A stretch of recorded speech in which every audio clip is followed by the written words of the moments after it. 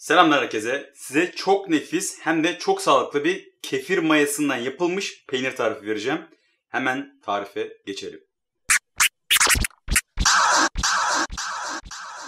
Tarif çok basit. Bildiğimiz kefir yapacağız ama 2 gün ya da 3 gün bekleteceğiz ki ben 2 gün bekleteceğim. 3 gün bekletirseniz çok daha da güzel bir lezzet elde edersiniz. Hemen hiç vakit kaybetmeden malzemeleri sayayım. 1 litre tam yağlı süte ihtiyacınız var. Yaklaşık 30 gram kadar kefir mayasına ihtiyacınız var. Kefir mayası tozlarından da alabilirsiniz. Bu endüstriyel olanlardan. O olur hiç fark etmez. Biraz ağırlığa ihtiyacınız var. Yaklaşık 5 kilo kadar. Ağırlığınız yoksa bir tencere içerisine su koyup da aynı ağırlığı sağlayabilirsiniz. Bir tane tel süzgece, tel süzgecin altına da sığacak kadar bir tencere ihtiyacınız var. Çok temiz bir beze ihtiyacınız var. Kesinlikle steril olmalı. Ve kağıt kahve filtresine ihtiyacınız var ne işe yarayacağını birazdan göstereceğim. Çok hoşunuza gidecek. Şimdi sütümün kapağını açıyorum. Sütüm yaklaşık 30 derecelerde olacak. Bunu unutmayın. Yani oda sıcaklığının bir tık üstü olsa yeterli. Ne çok sıcak olsun ne çok aşağısı olsun. Ortalama 25 ila 30 santigrat dereceler gayet yeterli. Bir tane kahve filtremi alıyorum. Güzelce açıp sütüm içerisine değecek kadar daldırıyorum. Hatta içerisine bir miktar süt aldırabilirsiniz de daha da iyi olur. İyice ıslandıktan sonra dışa doğru çeviriyorum. Durumu anladınız herhalde. Kefirleri bunda süzeceğiz. Sonrasında kefir mayalarımı filtrenin içerisine atıyorum. Kapağımı ters düz yapacaksak da sıkmadan direkt şöyle maksat içerisine toz girmeyecek şekilde kapatıyorum ve hemen arkamdaki bu dolaba yerleştireceğim. Kuru ve 30-35 dereceyi geçmeyecek sıcaklıklarda bulunması lazım. Çok daha fazla yükselirse mayalar ekşimeye başlıyor. Daha da yükselirse mayalar ölmeye başlıyor. Bunu unutmayın. Aynı zamanda bakteriyle uğraşıyorsunuz. Koyacağınız yerin steril olması lazım. Hemen arkamdaki dolabın orta gözüne koyuyorum.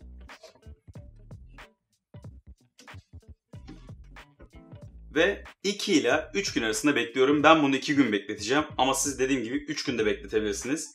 Ne kadar çok bekletirseniz o kadar daha kıvamlı oluyor. Tabii ki şu da var. Yaz aylarındayız. Yaz aylarında çok fazla sütlü bir şeyi böyle bekletmek de iyi değil. Ara ara kokusuna ve tadına da bakma şansınız varsa bakın derim. Çünkü bakteri çok tehlikeli bir şey. Dikkatli olun derim. 2 gün sonra görüşmek üzere.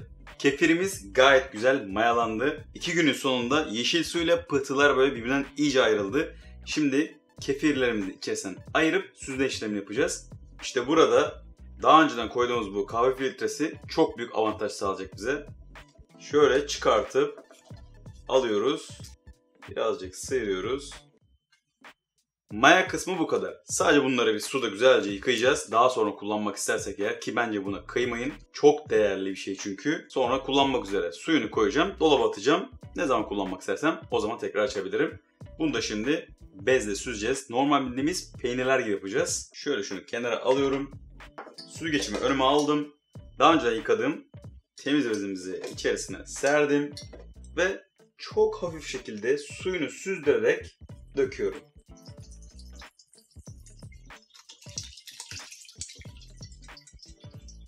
Şöyle spatula ile arta kalanları da süzüyorum. Bu arada hafif ekşi bir koku gelecek size. Bu ekşi koku içerisindeki yeşil sudan onu söyleyeyim. Yani şu pıhtı kısmında hiçbir şekilde ekşimi olmuyor. Bu yeşil suyu da atmayın için çünkü tam bir probiyotik deposu.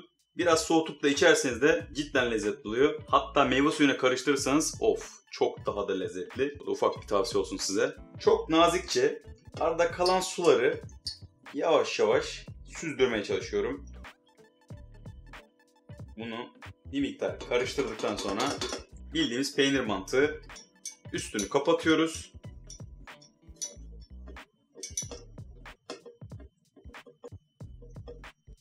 Hemen dumbbelllarımı koyacağım üzerine ağırlık olarak. Siz herhangi bir şey de koyabilirsiniz. Daha da steril olması için bir poşetin içerisine koyuyorum. Ve bunun üzerine şöyle yavaşça bırakıp buzdolabında yaklaşık olarak 4-5 saat boyunca en az 4-5 saat boyunca bekletiyorum. Ne kadar uzun bekletirseniz o kadar suyu süzülecektir. Hatta size şöyle bir tüyo da vereyim. Ne zaman artık o damla damla süzülmeler bittiyse tamamdır demektir. Ama hemen yemek istiyorsanız da şöyle bir yarım saat, bir saat hafif süzülsün. Biraz kremsi bir kıvamla da olsa yiyebilirsiniz. Bu arada şu kefir tanelerini size göstermek istiyorum. Gördüğünüz gibi hiçbirine zarar gelmedi ve aynı zamanda neredeyse tertemiz. Yani şu yöntem Normal kefirlerde kullanabileceğiniz bir yöntem onu söyleyeyim. Kefirler çok fazla sütün üstünde kalmasın. Kefir torbanız sütün içerisine yaklaşık 1 santim girse bile yeterli. O kefir taneleri onu tamamen mayalamasına yetiyor. Şunu hemen temizleyip bunu da dolaba kaldırıp birkaç saat sonra nasıl olduğunu gösterelim bakalım. 3 saat falan oldu. Artık sabırsızlaştım. Hemen şöyle bakmak istiyorum tadına. Ağırlıkları şöyle narince kaldırıyorum. Bayağı su çıktı. İlk önce şu çıkan suya bakalım.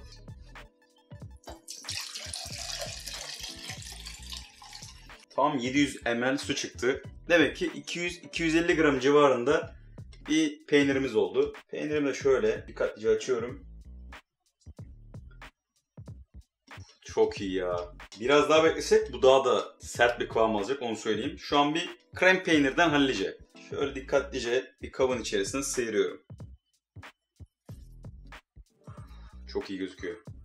Şunu söylemekte fayda var. Üstü kapalı halde bir gün dolapta durursa çok daha da iyi olur. Ama biz yine sabırsızız. Şöyle hafif bir tadına bakacağım. Cidden mükemmel. Çok iyi olmuş. Eğer biraz tuzlu isterseniz işte bu aşamada içerisine bir miktar tuz atabilirsiniz. Hem de bozulmasını engellemiş olursunuz. Daha uzun süre kullanmış olursunuz. Ama yok ben daha böyle e, şekerimsi bir tat istiyorum diyorsanız da şu halle de gayet güzel. Dediğim gibi bu kısmı da kesinlikle atmayın. Bağırsaklarınız için birebir tavsiye ederim. Umarım video hoşunuza gitmiştir ve yararlı olmuştur. Beğendiyseniz beğen butonuna basmayı unutmayın. Hala kanalıma abone değilseniz aşağıda abone ol butonu var. Oraya basıp abone olabilirsiniz. Onun da hemen yanında bir ufak zil işareti var. Zil işarete bastığınızda tümünü işaretlerseniz benden yeni gelen videolarda size bildirim düşecek. Kesinlikle unutmayın derim. Bu ve bunun gibi videolar için takipte kalmayı unutmayın. Kendinize çok iyi bakın. Sağlıkla kalın. Bay bay.